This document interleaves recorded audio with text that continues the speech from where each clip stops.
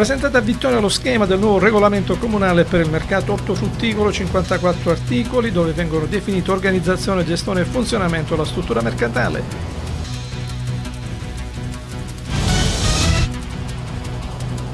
Con l'accusa di detenzione di stupefacente e resistenza pubblico ufficiale, i carabinieri arrestano nel palermitano due vittoresi e un tunisino. In auto avevano 40 grammi di eroina. Nel 2011 aveva compiuto una rapina al mercatino settimanale di Arezzo, ora dopo l'arresto per il vittorese Francesco Mirko Mangione è divenuta definitiva la sentenza del Tribunale toscano.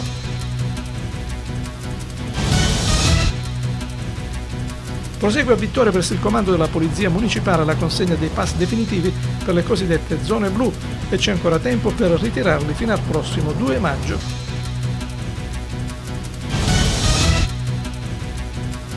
Al via Vittorio gli eventi per la settimana della cultura in campo anche l'associazione Grotte Alte che in collaborazione col comune ha organizzato una serie di manifestazioni culturali.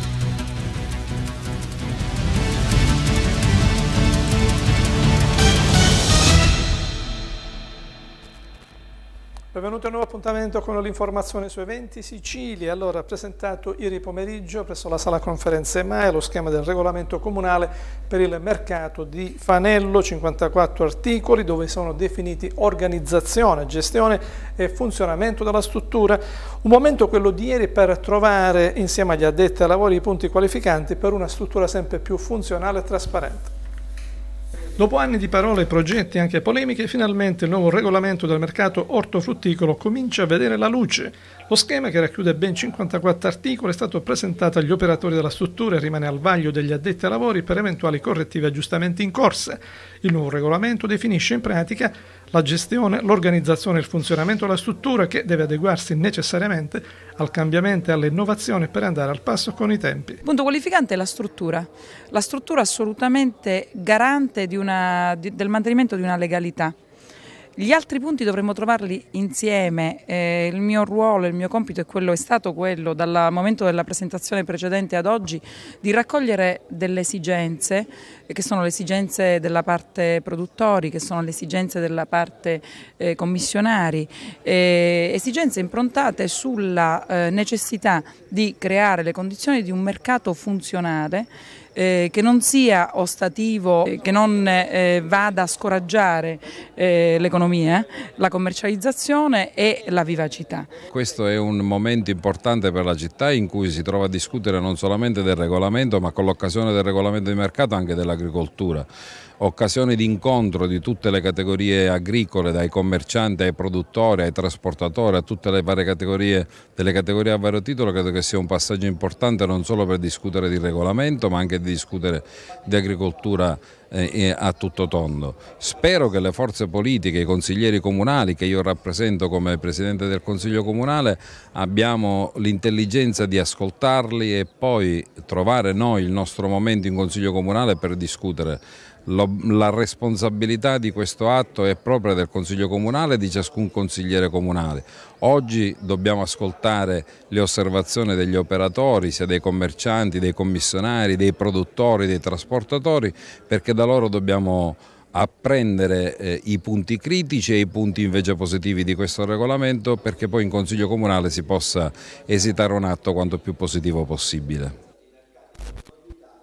Penuria d'acqua in alcune zone di Vittoria, a segnalare il disservizio idrico all'amministrazione comunale il eh, coordinatore di Città Libera Giuseppe Nicastro, in particolare la zona compresa tra via Gian Battista Iacone e via Fratelli Briganti, ha risposto in queste ore l'assessore Filippo Cavallo che conta di sistemare una parte della condotta idrica interessata e allo stesso tempo di risolvere presto i problemi anche del quartiere Forcone. La cronaca con l'accusa di detenzione ai fini di spaccio di stupefacente e resistenza pubblico ufficiale, i carabinieri della compagnia di Petralia Sottana nel Palermitano hanno arrestato due vittoresi e un tunisino che viaggiavano insieme in auto, trovati in possesso di 40 grammi di eroina. Due vittoriesi ed un tunisino sono stati arrestati dai carabinieri di Castellana Sicula nel Palermitano con l'accusa di detenzione ai fini di spaccio di sostanza stupefacente e resistenza pubblico ufficiale. Si tratta di Antonio Cacciapaglia, nato in Germania ma residente a Vittoria, Rosario Mario Belluardo, vittoriese di 46 anni, e Tufik Abbes, nato in Tunisia 36 anni fa e residente a Vittoria. Su disposizione delle autorità giudiziarie i tre sono stati rinchiusi nella casa circondariale di Termini Merese, dove resteranno in attesa dell'udienza di convalida. Secondo l'accusa il terzetto era andato nel Palermitano per rifornirsi di droga da rivendere poi nel Vittoriese. In territorio di Castellana Sicula sono stati fermati dai carabinieri in servizio in un normale posto di controllo mentre erano a bordo di un Alfa Romeo 156. L'atteggiamento sospetto dell'autista ha indotto i militari a intimare l'alt, ma il conducente, invece di fermarsi, ha iniziato ad accelerare dandosi alla fuga. È iniziato un lungo inseguimento nel corso del quale i carabinieri hanno notato che uno degli occupanti del mezzo lanciava qualcosa fuori dal finestrino. Dopo quasi due chilometri l'auto è stata fermata. Nel frattempo sono giunte altre auto dei carabinieri. A dare loro manforte anche due agenti della polizia penitenziaria appartenenti al servizio cinofili che casualmente stavano percorrendo quella stessa arteria stradale. Proprio i loro cani hanno ritrovato l'involucro lanciato dall'auto in corsa poco prima. All'interno della confezione 40 grammi di eroina. I tre sono stati quindi arrestati, come detto, con l'accusa di spaccio di droga e resistenza a pubblico ufficiale. A Vittoria la polizia ha arrestato ieri Francesco Mirko Mangione, pregiudicato 24 anni del posto, a suo carico infatti divenuta definitiva la sentenza emessa dal Tribunale di Arezzo che lo ha giudicato responsabile in rapina aggravata in concorso, episodio che si riferisce al 2011. Ancora un rapinatore arrestato dalla Polizia di Stato di Vittoria, stavolta a pagare il conto con la giustizia è Francesco Mirko Mangione, 24enne vittoriese, pregiudicato. Il giovane è noto soprattutto in alcune regioni del centro-nord Italia, dove è accusato di aver commesso diversi reati. La Polizia, ricevuto dall'Ufficio Esecuzioni Penali della Procura della Repubblica di Arezzo l'ordine di esecuzione per l'espiazione, lo ha arrestato nella tarda mattinata di ieri. A carico del giovane è infatti divenuta definitiva una condanna di quel tribunale che lo vede colpevole di rapina aggravata in concorso commessa nel 2011. Era il 30 luglio quando Mangione, con altri italiani, nei pressi del mercatino settimanale di Arezzo, veniva fermato dalla volante che era intervenuta poiché un cittadino del Bangladesh era rimasto vittima della sottrazione, dall'interno del suo furgone di commerciante ambulante, del marsupio contenente denaro, telefonino e documenti. La vittima aveva inseguito i delinquenti ed era riuscito a raggiungere uno di loro, ma era intervenuto un altro soggetto che l'aveva costretto a colpi di bastone a desistere. Il pronto intervento della polizia aveva evitato conseguenze più gravi ed aveva consentito di bloccare Mangione e l'altro soggetto. Entrambi avevano ammesso subito le loro responsabilità ed avevano restituito il maltolto, erano stati quindi arrestati. A distanza di quattro anni, la Procura della Repubblica di Arezzo ha ora fatto i conti e sottratto quanto già scontato, ha calcolato che Mangione deve ancora espiare la pena di nove mesi e 24 giorni di reclusione, oltre il recupero della pena pecuniaria. La pena verrà scontata nella sua abitazione. Intanto un 28enne è stato arrestato la scorsa notte dai carabinieri di Ragusa. Il giovane, già noto alle forze dell'ordine, è stato sorpreso con 100 grammi di hash che deteneva nella propria auto e che sul mercato avrebbero fruttato oltre 2000 euro. I carabinieri della compagnia di Ragusa hanno arrestato nel corso di appositi servizi antidroga disposti dal comandante provinciale tenente colonnello Sigismondo Fragassi uno spacciatore sorpreso a bordo della propria auto con circa 100 grammi di hashish. Il giovane Francesco Cilenti, 28 anni, già noto alle forze dell'ordine per reati specifici, è stato fermato la scorsa notte a Santa Croce Camerina dal personale del nucleo radiomobile.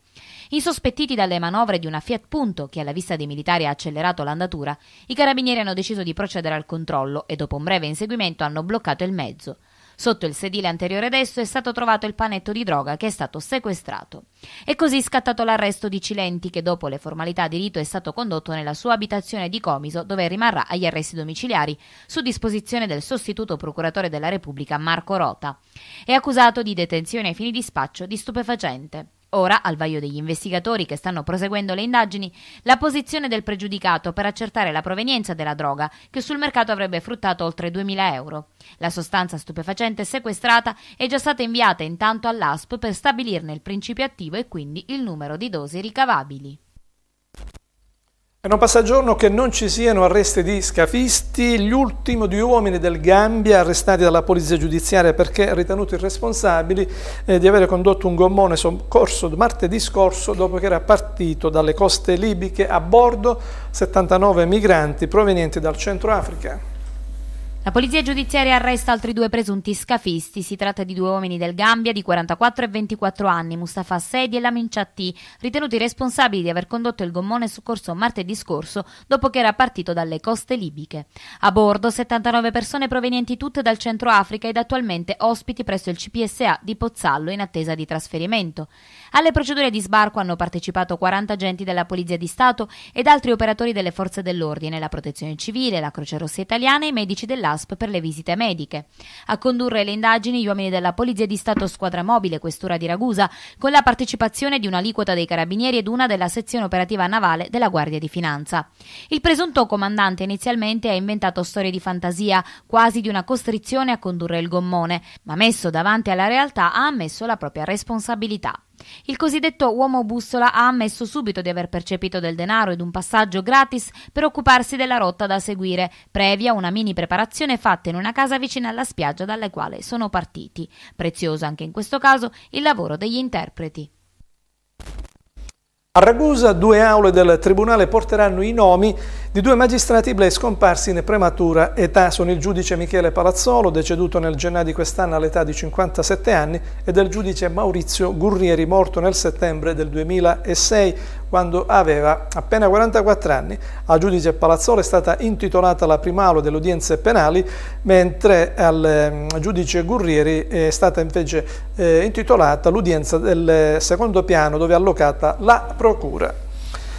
Le recenti critiche all'amministrazione comunale del coordinatore di Patto per Vittorio Arcangelo Mazza hanno innescato subito la reazione della segreteria del PD. Per il segretario Francesco Cannizzo all'interno dell'opposizione regna il caos più totale. Dichiarazioni assolutamente scomposte e inappropriate, così la segreteria del PD di Vittoria, per bocca di Francesco Cannizzo, dopo le ultime affermazioni del coordinatore di Patto per Vittoria Arcangelo Mazza. Il PD e la giunta Nicosia operano bene, rileva Cannizzo, e dunque causano inevitabilmente l'insofferenza degli oppositori che gravitano all'interno e all'esterno del Consiglio Comunale, per cui il delirio nel quale ormai si è cacciata questa opposizione è assoluto e al suo interno regna il caos più totale. Ma ora Mazza, dice ancora Cannizzo, e l'intera compagnia tentano di trascinare la città nella confusione perenne.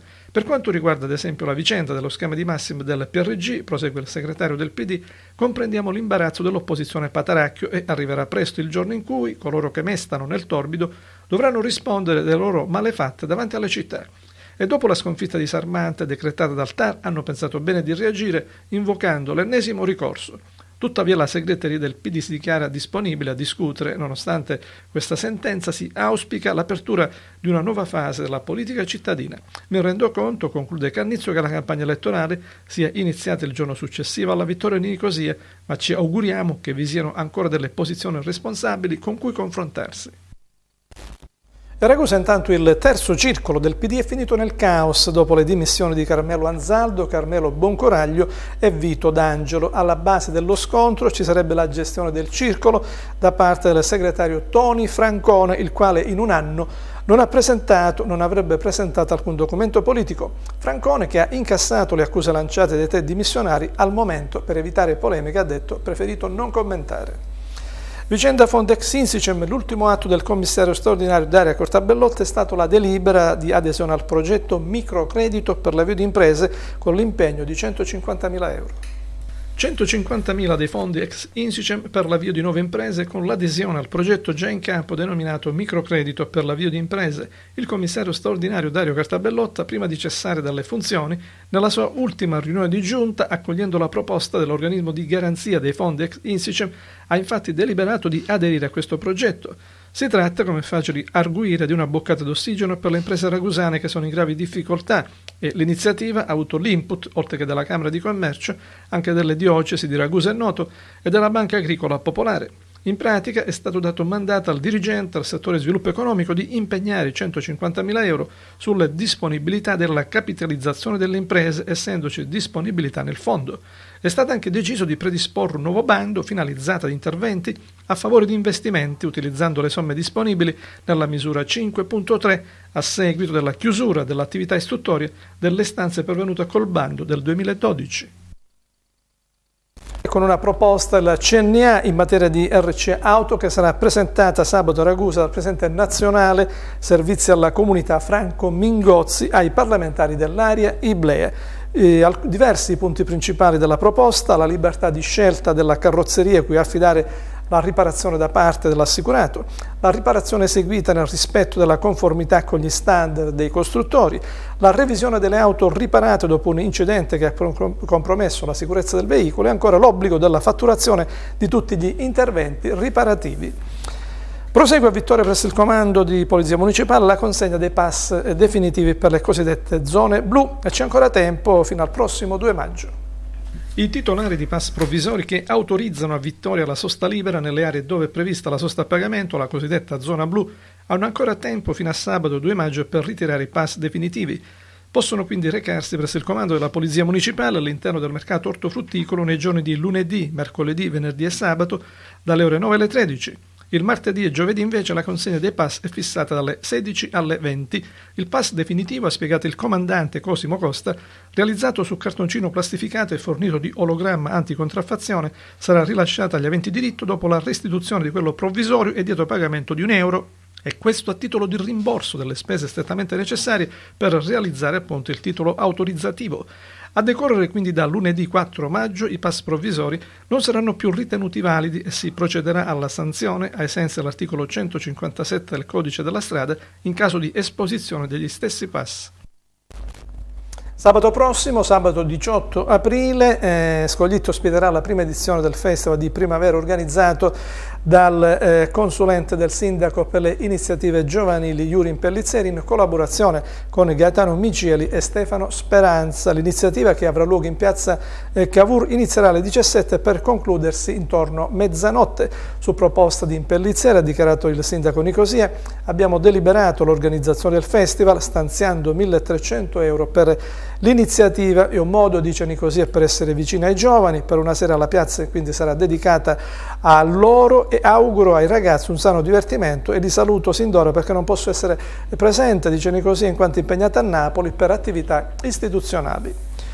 E poi ci sono gli eventi per la settimana della cultura Vittoria che coincide anche con i festeggiamenti per l'anniversario della fondazione della città, diversi gli appuntamenti al via dal prossimo 24 aprile. L'associazione Grotte Alte, in collaborazione con l'amministrazione comunale, organizza, in occasione della Settimana della Cultura e in concomitanza con l'anniversario della Fondazione di Vittoria, una serie di eventi che si svolgeranno il 24, 25 e 26 aprile. L'associazione ha programmato una serie di attività culturali e sociali mirate a far conoscere alla cittadinanza e non solo le bellezze della città di Vittoria. In particolare, giorno 24 aprile alle ore 17 nei locali della Sala Mazzone è prevista una conferenza dal titolo Paesaggio e bellezza tra archeologia e natura, realizzata con la collaborazione di Italia Nostra e UNESCO. Al termine si inaugurerà il concorso fotografico dal titolo Le nuove cartoline di Vittoria. Alle ore 21 del 26 aprile poi verranno annunciate le 5 foto più votate che diventeranno le nuove cartoline della città. Giorno 25, dalle ore 16.30 alle 19, lo staff di Grotte Alte guiderà i partecipanti in un tour alla scoperta delle bellezze della città. Partendo dal Chiostro delle Grazie si visiteranno i tunnel, fino ad ora chiusi al pubblico, il Teatro Comunale, la Basilica di San Giovanni Battista e il Castello Colonna Enriquez. Giorno 26 aprile, a partire dalle ore 16.30, si andrà invece alla scoperta del patrimonio storico della zona archeologica di Grotte Alte.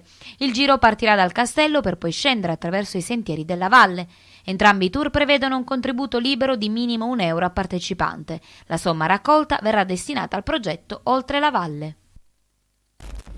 A Ragusa, intitolata a Laura Guastella l'impianto sportivo polivalente di Contrada Petrulli, atleta prematuramente scomparsa l'8 dicembre del 2003. A deciderlo l'amministrazione comunale che, alla luce delle richieste presentate diversi anni or sono sia dalla famiglia della compianta Laura sia dal comitato provinciale della Federazione Atletica Leggera, ha adottato uno specifico provvedimento e per dare corsa a questa delibera, ieri in Contrada Petrulli si è appunto svolta la cerimonia di intitolazione, cui sono stati presenti Giovanni Francesco Guastella, rispettivamente papà e fratello di Laura, il sindaco Federico Piccitto, il vice sindaco e assessore allo sport Massimo Iannucci e il delegato provinciale del CONI Rosario Cintolo, oltre a diversi semplici cittadini. Basket femminile passa l'acqua spedizione che doma il Napoli al termine della prima semifinale playoff scudetto femminile dopo una partenza shock ieri al Palaminardi per le Ible, poi la reazione e la vittoria. Ci è voluto ieri al Palaminardi grande volontà e massima applicazione per rispedire battuta a casa la Sages Napoli. 1-0 dunque nella gara di andata delle semifinali playoff femminili col quintetto di Molina che chiude 57-52 una partita molto tirata e combattuta e si vede subito fin dall'inizio che è l'avversario di quelli tosti e a poco servono i tiri da fuori imprecisi e affrettati per cui Napoli scatta subito avanti e in un palaminar di stracolmo infuocato di tifo le atlete di Molino riprendono coraggio poco dopo con la gara abbastanza equilibrata. Poi Pearson entra finalmente nel match trascinando la squadra a metà gara per la prima volta avanti, col primo tempo che si chiude 24 a 21, ritmi sempre altissimi anche nella terza frazione di gioco, poi ci pensa Gorini a lanciare la fuga delle Ragusane che alla terza sirena chiudono avanti di ben 11 punti.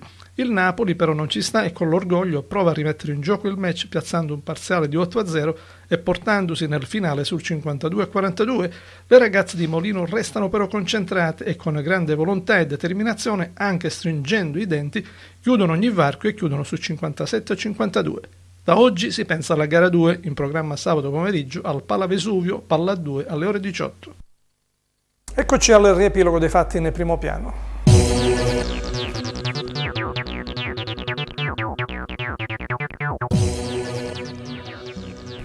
Presentata a Vittoria lo schema del nuovo regolamento comunale per il mercato ortofrutticolo, 54 articoli dove vengono definiti organizzazione, gestione e funzionamento della struttura mercatale. Un momento, quello di ieri presso la sala conferenze Maie, mirato soprattutto ad un confronto con gli addetti ai lavori per una struttura sempre più funzionale e trasparente e che deve necessariamente adeguarsi ai tempi.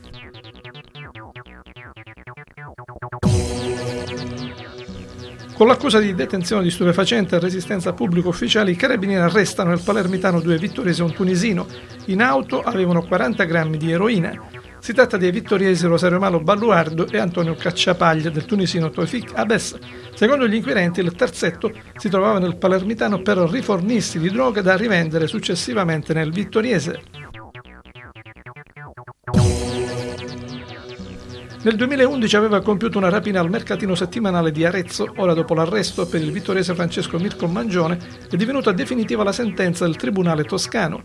Nel luglio del 2011 Mangione assieme ad altri giovani era stato fermato al mercatino di Arezzo dalla polizia intervenuta dopo la denuncia di un extracomunitario che aveva denunciato il furto del suo marsupio contenente denaro, telefonini e documenti. Prosegue a Vittoria presso il comando della Polizia Municipale la consegna dei pass definitivi per le cosiddette zone blu e c'è ancora tempo per ritirarli fino al prossimo 2 maggio. Il pass definitivo sarà rilasciato agli aventi diritto dopo la restituzione di quello provvisorio e dietro pagamento di un euro. A decorrere quindi da lunedì 4 maggio quelli provvisori non saranno validi e si può incorrere nelle sanzioni. Al via Vittorio gli eventi per la settimana della cultura in campo anche l'associazione Grotte Alte che in collaborazione col comune ha organizzato una serie di manifestazioni culturali. Diversi gli appuntamenti in concomitanza anche con l'anniversario della fondazione di Vittoria, conferenze, concorsi fotografici e visite guidate alla scoperta del patrimonio storico della zona archeologica attraversando anche la valle del